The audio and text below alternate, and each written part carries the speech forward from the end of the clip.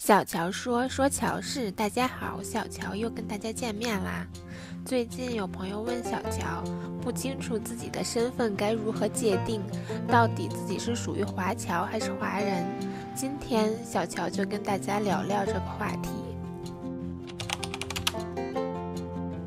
华侨是有中国国籍，但定居在外国或在国外长期生活的中国公民。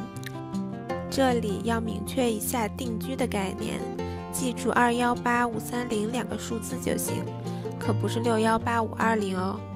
二幺八即取得长期或永久的居留权，两年内必须住满十八个月；或五三零即取得合法居留资格后，五年累计住满三十个月。出国留学包括公派和自费。或因公务出国，包括外派劳务人员，都不是华侨。华裔比较好理解，就是有中国血统，但是国籍不是中国的人。外籍华人是以加入外国国籍的原中国公民及其外国籍后裔，及中国公民的外国籍后裔。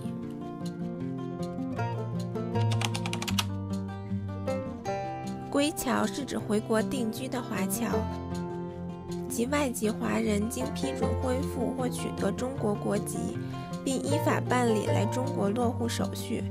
这里的回国定居是指华侨放弃原住在国长期、永久或合法居留权，并依法办理回国落户手续；或外籍华人经批准恢复或取得中国国籍。并依法办理来中国落户手续。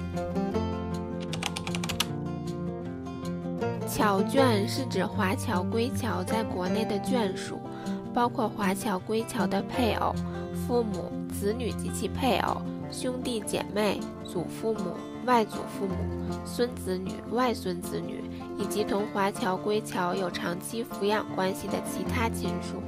外籍华人在中国境内的具有中国国籍的眷属，也视为侨眷。现在大家都清楚自己是什么身份了吗？这一期的小乔说也到了跟大家说再见的时候啦，我们下期见。